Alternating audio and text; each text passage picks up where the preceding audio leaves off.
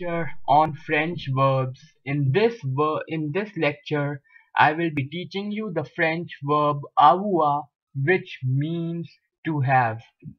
Now we write it down. The verb to have. In the last lecture, we had learned the verb to be, which was the verb être. Now the translation will be li verb avoir. So basically A-V-O-I-R is pronounced as avoir. Uh, I'll write it down in the bracket for your understanding. Now the first one which we have is J. Remember we say J for I. So this is basically I have. However, we do not pronounce the last letter because in French they do not find it beautiful to pronounce maybe. So instead they omit instead of going J, they just say J, J with the A sound.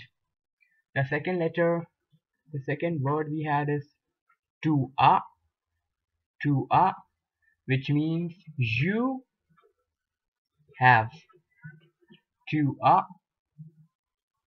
The third word is il, l, a. So basically this is also pronounced as a and this is also pronounced as a, which means he slash she has. We do not say have, this is the basic English grammar rule. It is he, she has. The fourth one is avons. Nous avons, which means nous avons.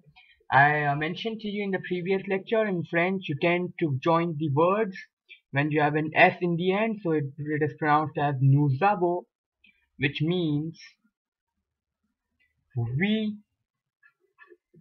have. Nous avons. The fifth one is vous avez, which is vous avez. Vous avez. Now, I mentioned in the previous lecture that the word vous is used when you show respect to someone or maybe you're meeting someone in a professional environment or you're meeting a person for the first time. So this also basically means you have, but if you meet a person who is belonging to a professional background, you do not say tu a. Ah. Instead, you will be using avez, which is uh, to show respect to the other person. The sixth word is il, el,